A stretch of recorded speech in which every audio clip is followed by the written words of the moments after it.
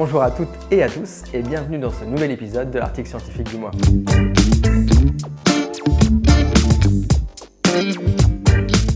Aujourd'hui, nous parlerons de l'article du docteur Michael Samama sur le déroutement et coffrage mandibulaire postérieur en cas d'atrophie extrême, sorti dans le magazine Le Fil Dentaire numéro 174 en 2022. La réhabilitation fixe du secteur postérieur mandibulaire représente un défi. En effet, comme l'a décrit Kay Woodéal, la résorption de la crête alvéolaire mandibulaire postérieure s'accompagne d'une superficialisation du nerf alvéolaire inférieur.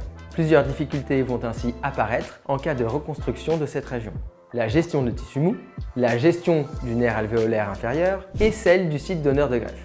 Au niveau des tissus mous, l'objectif va être de pouvoir recouvrir totalement le site greffé de façon hermétique en jouant sur la laxité des tissus mous. Pour le nerf alvéolaire inférieur, il représente le principal risque pré- et post-opératoire. De par sa position anatomique, il empêche la mise en place des vis ostéosynthèse. Sa sortie au niveau du foramen mentonnier nécessite une dissection fine et précise. Enfin, le site donneur autologue, habituellement ramique, peut être difficile à prélever du fait de sa position proche du site à et du risque de fracture péropératoire de la mandibule. À travers cet article, le docteur Samama présente la technique de déroutement coffrage mandibulaire postérieur à travers deux cas cliniques.